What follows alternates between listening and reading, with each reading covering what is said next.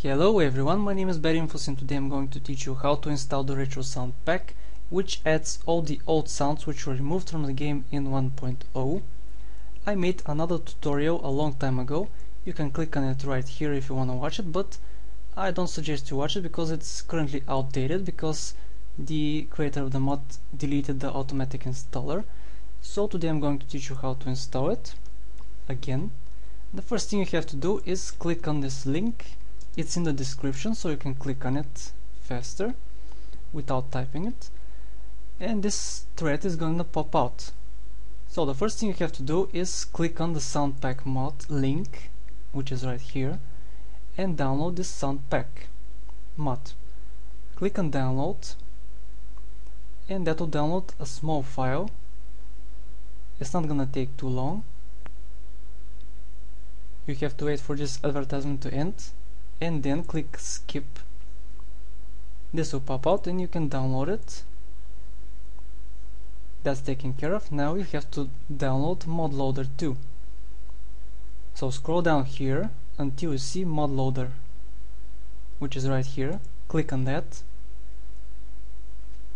And scroll down until you see modloader again. Click right here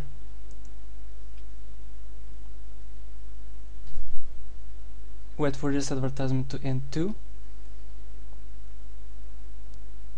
And click on skip ad. Okay that's ready too. And now you can go back and back again. And you can download the retro sound pack. Click on download here. And this file is pretty big so you have to wait a while for it to download. Okay after that is done you can close this because you won't need it anymore.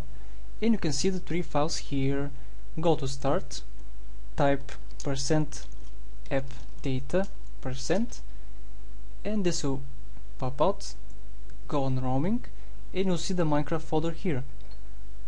Click on it and go to bin the bin folder now you can see this minecraft.jar, right click on it and open it with whichever archiver you have. I have WinRAR, that's why I'm gonna use WinRAR. Close it. Now first delete this meta.inf folder and open modloader. Get all these files and drop them right in here. That's taken care of. Now it's time for the sound pack mod. Do the same thing with this. And now you can close this. Okay, now you have to create a file here named soundpacks. Open it, open this, and just drag this here. And that is basically it. Now you all have you have all the old sounds. So thanks guys for watching. I'll see you next time